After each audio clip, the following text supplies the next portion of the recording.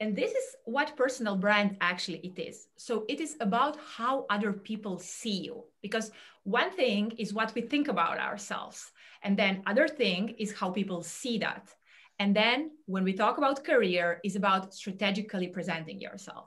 So now I can shortly tell you my story actually. So I was born and raised in Serbia. And by the time when I was choosing my university study, my country was devastated with two wars and a dictatorship. And it was very bad situation.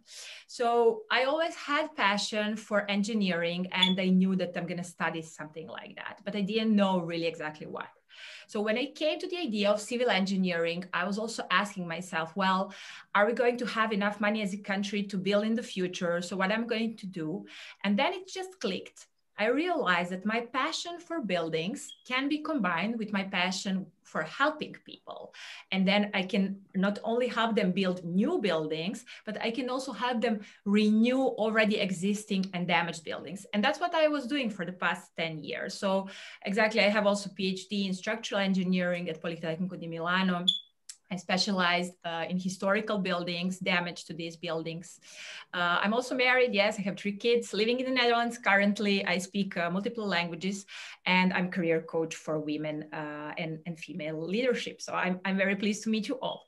How do we change the rule? Very important question.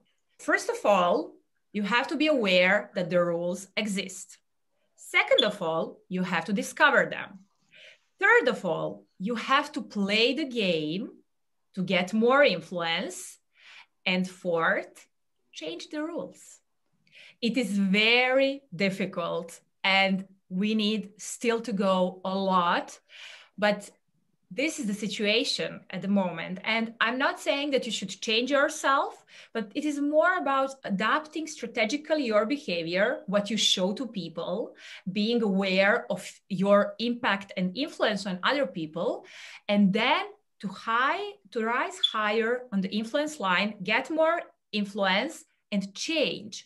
Uh, someone says uh, led by example. Yes of course led by example because when you get on those top c positions full professor positions and so on just name it then you can help other women to get also there but also to change the rules uh, of the game as i said. Put out the fire. So what does this means?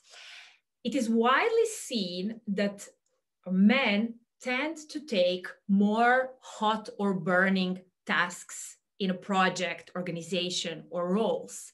And it is also seen that women tend to either um, put out very small fires or do everything that they can in order to prevent the fire. So, what I often was hearing from men when we were about to discuss if a colleague should be promoted to a higher position, they were often saying for females, well, she doesn't seem like she's actually solving any problems. You know, uh, she just talks a lot. And what what then I try to tell them, well, are you sure about it? Because what I see is that she does a lot of work, a lot of efforts for problems not to rise at all. And what I tell to women be strategical. Sometimes let it go.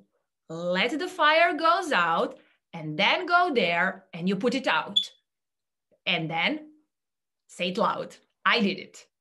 So that's one of the unwritten rules where we see the difference in the feminine and masculine uh, preferred working style.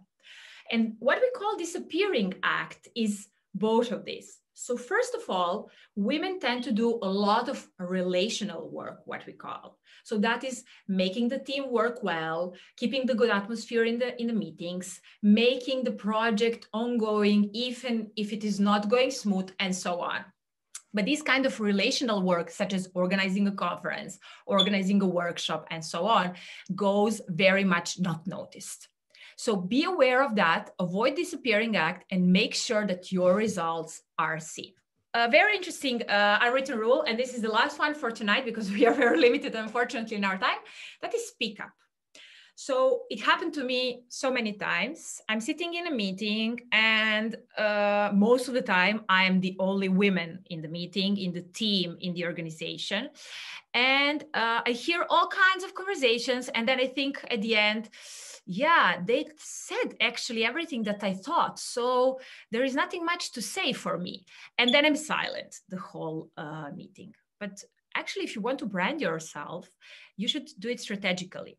Even if every, every single of your thoughts has been said, use your opportunity to brand yourself.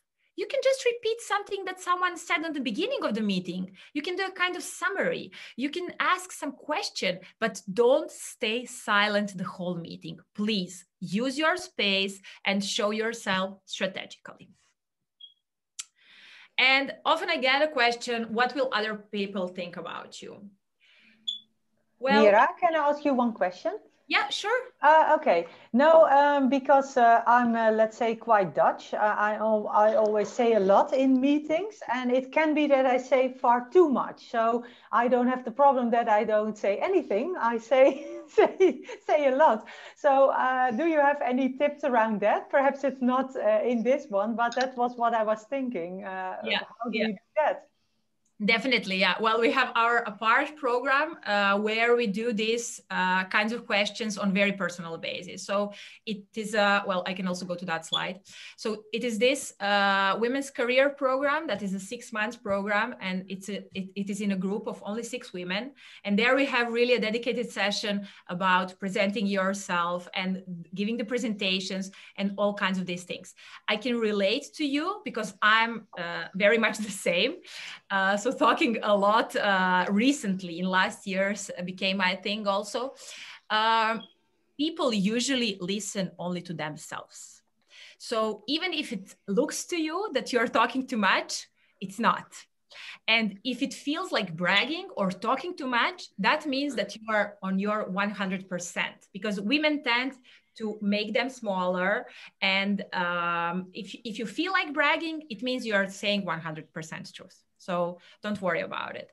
And thinking about what other people, if they will like you or no, only one third of people will like you. One third will not like you, and one third will don't give a care uh, about you. I mean, not about you, but any person.